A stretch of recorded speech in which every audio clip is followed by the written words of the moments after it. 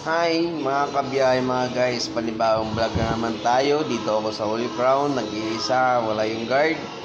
Ayan, ngayon ako ang guard ngayon dito guys, ako ang pantay. Kasi pasensyahan nyo na yung mga vlog ko at ngayon lang tayo uli naka-vlog kasi busy sa work. Mga kabiyahe mga guys, yan dito tayo ngayon.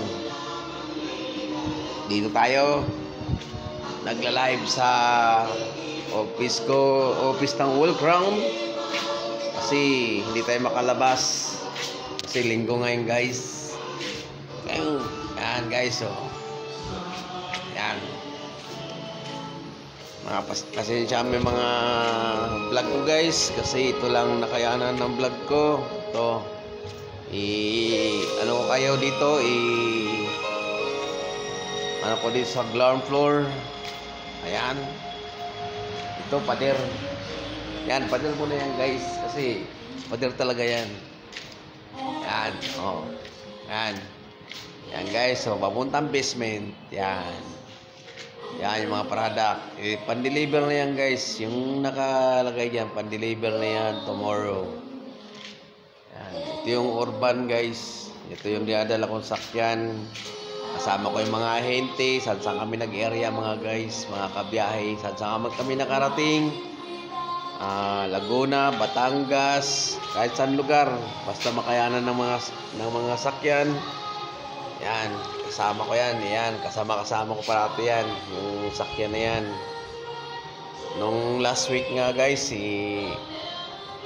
nalaglag yung pangalso ng ng truck gumulong pumunta doon sa ano namin sa ilalim ng van. Kaya tinamaan yung crankcase. Nasira nireker kami.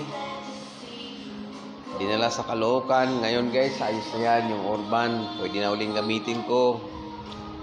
Uh, shout out pala sa, sa lahat ng taga Crown na makapanood dito uh, ito panibagong ano ko naman yung sakyan ko ah, condition na naman yan guys. Para sasabak na naman sa biyahe kahit saan lugar saan kami makarating. Kasama yung mga ahente at iba pa.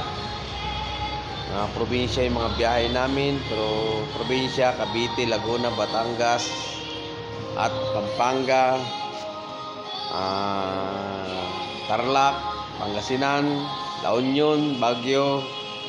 Kahit saan kami makarating Kasama-kasama ko yan. Yan. Hanggang saan? Hanggang Bicol.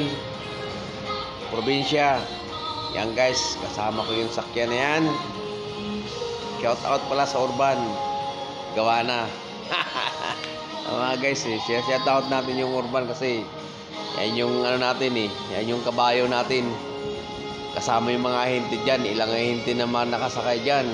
Minsan eh pakuya-kuy-kuya-kuy pa dyan sa loob. Naka, naka ano yung sandalan nakahiga. Kasi pagod na sila. Tutulog na lang. Pero yung driver pagod na. Drive pa rin. Kasi yun yung talagang trabaho natin guys eh. Magda-drive. Yun.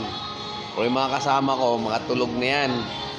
Kung ilan man sila dyan nakasagay nakasakay mga tulog na yung mga guys mga kabiyahe kaya, kondisyon naman yung urban. Baka sana, sana naman makarating kami.